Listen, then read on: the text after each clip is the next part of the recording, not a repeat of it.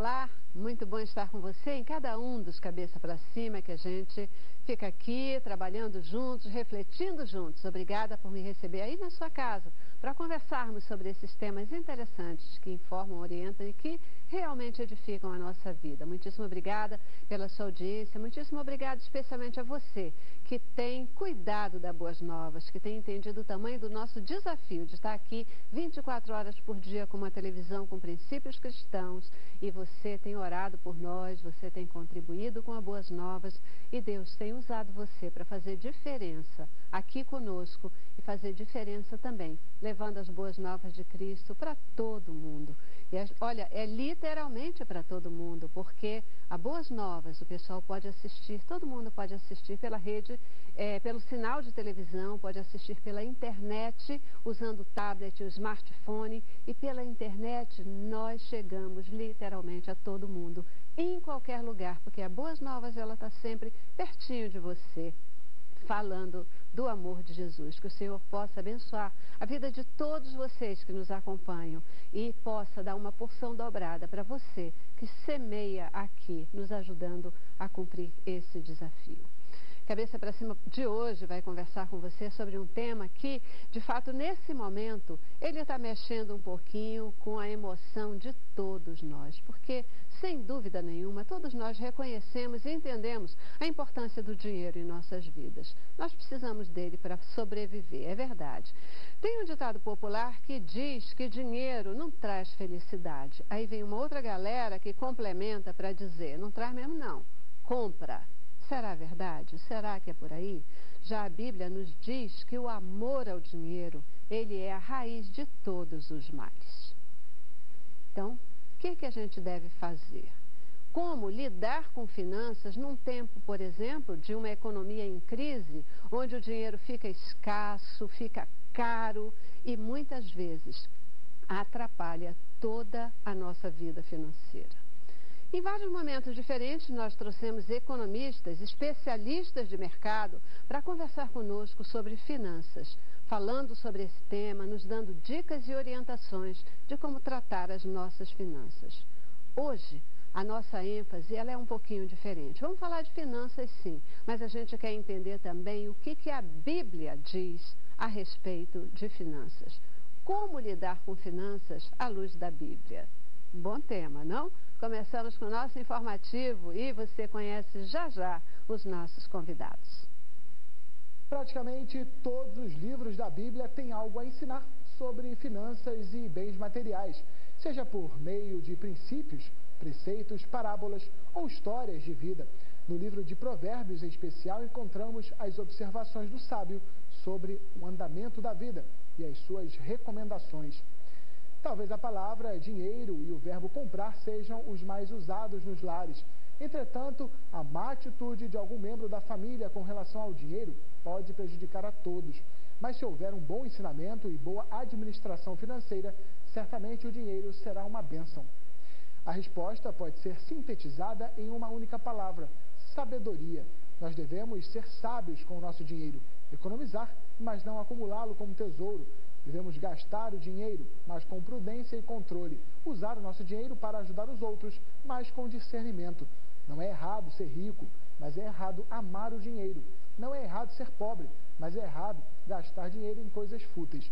A mensagem consistente da Bíblia sobre o gerenciamento do dinheiro é ser sábio.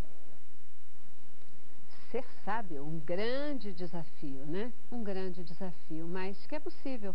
E a Bíblia nos ajuda muito nessa questão, sim. Você, como é que anda com a sua relação com o dinheiro? Já está atrapalhado? Está aí com dívidas no mercado? Será que o programa de hoje pode ajudar você?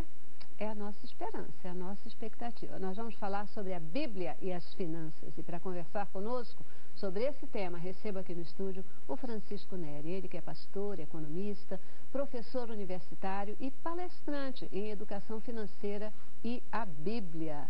Muito bom ter você aqui, inclusive aí com esse novo crédito, né? Palestrante sobre educação financeira e a Bíblia. Que bom, Francisco. Eu que agradeço a oportunidade de estar aqui nesse programa, né? Deus possa continuar abençoando esse ministério. Uhum. E essa uhum. questão da educação financeira é muito importante. Eu acho esse tema extremamente pertinente para o nosso momento atual e eu tenho certeza que com esses palestrantes também de alto nível, que esse programa sempre tem o cuidado de trazer para esse público tão especial, nós possamos acrescentar sobre esse tema tão importante. É sempre um prazer nós estarmos presentes com a graça de Deus. Amém. Também muito bom sempre ter você aqui, viu? Também conosco, Fábio Rain. Fábio também já esteve conosco aqui no Cabeça para Cima. Ele que é economista, consultor financeiro, professor de finanças corporativas do IBMEC aqui no Rio de Janeiro. Muitíssimo obrigada por estar aqui com a gente. Tudo bem, Celeste. Tudo. Prazer estar aqui com vocês. Um assunto muito importante, muito importante, atual. E espero contribuir aí com, com o debate. Pois é, na crista da onda, né? É Agora, fundamental. falar sobre finanças é, realmente... Tem tudo a ver. Crise econômica, envolvido com política, tem a questão do endividamento das famílias, então é um assunto muito importante. Bacana, bacana. Gente, e completa nosso time de hoje, Humberto Rodrigues. Humberto, ele é administrador e também pastor-presidente da Igreja Nova Vida Moneró. Muitíssimo obrigada por estar aqui com a gente, sua primeira vez na Cabeça para Cima, uma honra. Eu é que agradeço a oportunidade, Celeste, de estar aqui. É um sonho, né, a gente poder estar aqui participando, porque a gente aprende a admirar o seu trabalho, aqui o trabalho das boas novas e o convite chega para quando chegou foi um privilégio, uma alegria, um sonho realizado e obviamente o meu desejo aqui hoje é contribuir para esclarecer, para trazer uma palavra também pastoral ao coração de tantas famílias, porque a gente lida com famílias o tempo todo dentro da igreja. A gente sabe o quanto esse problema, essa crise financeira, a crise financeira dentro do lar, afeta o casamento, a vida com os filhos, o relacionamento familiar dentro de casa. Então a gente vai lidar uma, com um assunto que está presente no dia a dia das famílias, esperando que Deus possa nos usar com uma palavra realmente de esclarecimento, Amém. que possa contribuir com todos os nossos telespectadores aqui hoje. Amém.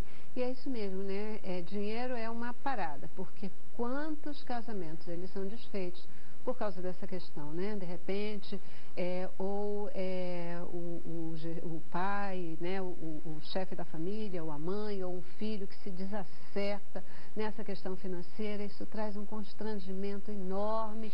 E a gente sabe, muitos lares são desfeitos por causa da questão econômica. E aí a gente está num momento né, de crise. Estamos num momento de crise? Muita. A gente não sabe explicar ainda, assim, os especialistas, a gente não consegue explicar se a crise ela é a econômica ela é influenciada pela crise política ou se a crise política é influenciada pela crise econômica. Né? O que é certo é que o país hoje passa por um momento dificílimo em termos de ajuste nas suas contas públicas.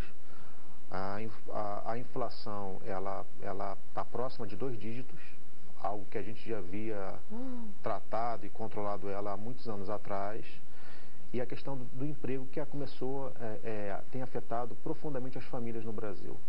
A gente, tecnicamente falando, a gente está num processo de estagflação, que é isso. É, desemprego em alta com inflação também alta. E esse é um assunto, quando a gente fala sobre finanças, que é a ciência de gerenciar recursos para as famílias e para as, para as pessoas, é um assunto que tem um efeito psicológico. Lidar bem com o dinheiro é lidar com o aspecto psicológico. Se você lida bem com seu dinheiro, se você tem planejamento, se você tem controle sobre as suas finanças, você, pelo menos nessa área, psicologicamente falando, você consegue equilibrar emocionalmente falando. Uhum. Pois é, e aí é que a gente quer realmente poder ajudar né, nessa busca desse equilíbrio emocional. Eu daqui a pouco quero entender um pouco mais aí a dimensão, é, pelo menos a gente falar um pouquinho dessa dimensão, né, dessa crise, se é alguma coisa mais passageira, se, se não é tão passageira assim, porque é até para a gente se preparar psicologicamente para lidar com ela, né? Lidar com ela. Mas a Bíblia tem lições para a gente sobre como lidar com finanças? Com certeza. A Bíblia é a nossa única regra de fé e prática. Uma das propostas desse programa é mostrar que a Bíblia é um manual de vida que trata de todas as dimensões do ser, do, do ser humano dimensão psicológica, dimensão social e principalmente a questão da dimensão econômica. Uhum. E o que você falou é muito importante, só para contextualizar um pouco, a economia é baseada na lei da escassez. O princípio da escassez é o princípio da economia. Ou seja, os desejos dos seres humanos são ilimitados, mas os recursos naturais são limitados. Dentro desse paradoxo que a gente estuda em economia, cabe a gerência desses, desses recursos, essa mordomia em cima dos recursos. Agora, como bem colocou o Fábio e outro palestrante também vai aprofundar essas questões técnicas, nós estamos vivendo um momento de crise, momento de crise. Depois eu posso até especificar os três níveis de crise, né? em economia e como nós podemos, através da palavra de Deus, quais são os ensinamentos da palavra de Deus para que nós possamos tomar as melhores atitudes possíveis dentro do nosso planejamento. A gente está acostumado a falar né, e olhar a Bíblia, a Bíblia fala sobre a questão do amor ao dinheiro como a raiz de todos os males. Né? Essa é uma verdade que está na Bíblia. Mas eu estava vendo que Paulo, ele diz que tanto o amor pelo dinheiro quanto desprezá-lo são negar a fé. É isso mesmo, pastor? É, e o fato é que a palavra de Deus, a questão do dinheiro, uma questão muito abrangente, questão financeira. Tanto é que o texto sagrado nos ensina, apóstolo Paulo, que o amor ao dinheiro é a raiz de todos os males. Ora, quantos males hoje a gente vê na sociedade atual? Verdade. E a Bíblia diz que todos eles têm o mesmo DNA, têm o mesmo pai, né? Vamos assim chamar, que é o amor ao dinheiro. Uhum. Ou seja, o quão abrangente é esse assunto. Uhum. Passa pelas mais diferentes áreas da vida humana. É, e, então, a, a, a, é muito importante a gente saber lidar com o recurso, com o dinheiro, como foi falado, a, grande questão disso tudo, eu penso que é o equilíbrio. Nós já dissemos aqui, o doutor Fábio que já falou, sobre a questão de a gente aprender a ter esse equilíbrio emocional para lidar. Porque a, Bíblia também nos ensina e compara o dinheiro a um Deus. Mateus capítulo 6, Jesus nos ensina sobre isso. Quando ele fala, nós não podemos servir a dois senhores. E aí ele diz que dois senhores ele está falando. Ele diz, não podemos servir a Deus que é o dinheiro. Ou seja, ele compara o dinheiro como um Deus. E o, e o dinheiro tem esse poder de fascínio no coração humano, né? de nos fascinar, de nos envolver, de nos, de nos iludir. Então, cria esse fascínio pelo dinheiro e por isso, então, este amor faz tão mal ao coração humano. Uhum. Então, essa, essa, essa questão de aprender a lidar com o dinheiro, com a questão financeira, ter equilíbrio para esse momento, faz com que é tão importante a questão da sabedoria, porque na verdade, se nós olharmos para a Bíblia, nós vamos ter um grande exemplo na Bíblia de que se eu lidar com essa questão com a luz da Bíblia Sagrada, inspirado por Deus, a hora da crise pode se tornar a hora do crescimento. E é isso que a gente quer propiciar para os nossos telespectadores, que esse momento de crise seja um momento de crescimento, seja um momento mesmo, porque com Deus não tem crise, não tem crise. Você estava querendo falar. Não, esses assuntos que eles tocaram são extremamente pertinentes. Tanto até que o Prêmio Nobel de Economia, Daniel Kahneman, ele justamente evocou para o centro dessa discussão a questão das finanças comportamentais. Ou seja, o Fábio colocou o elemento psicológico, o pastor também colocou o elemento espiritual das finanças, ou seja, o amor ao dinheiro, ou seja, o apego ao dinheiro que leva à destruição. Mas como ele bem colocou com caráter pastoral, bem colocado por sinal, ele enfatizou o aspecto psicológico, fez a análise do cenário e ele trouxe o lado espiritual, porque antes de tudo é uma questão espiritual. É, o que é preciso fazer para a gente gerenciar bem o nosso dinheiro? A primeira providência que todos têm, têm que fazer é ter um planejamento para isso assim, a, a regra da, da, da, de boas práticas financeiras pessoais envolve você reter pelo menos 15 a 20% do que, daquilo que você recebe. Então, uma pessoa que tem um rendimento na casa aí de dois mil reais mês, ela deveria reter próximo aí a 400 reais como poupança, que é um grande problema brasileiro. O, o brasileiro como um todo, ainda mais essa nova classe média que surgiu nos últimos anos aí, ela, ela, ela não aprendeu, em razão também de uma ausência de educação financeira nas escolas, seja onde for, a, a questão da poupança. O brasileiro não tem, esse, não tem essa, essa preocupação. Né? O brasileiro ele, ele, ele compra hoje a prestação. Ele está preocupado se a prestação que ele vai comprar do seu carro, dos seus eletrodomésticos, vai caber no seu orçamento. Quando está, né? E, e, às vezes não tem nem orçamento. É isso né? aí. Essa, essa é a regra número um, ou seja, planejamento.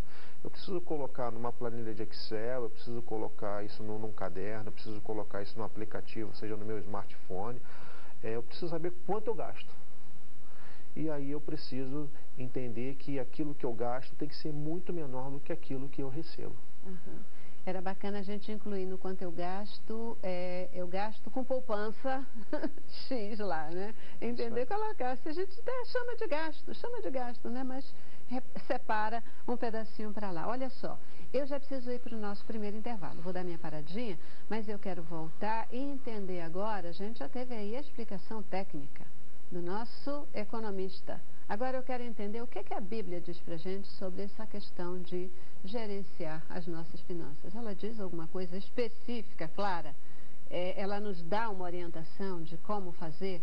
Valida as informações técnicas? Logo depois do intervalo, tá bom? Vamos lá.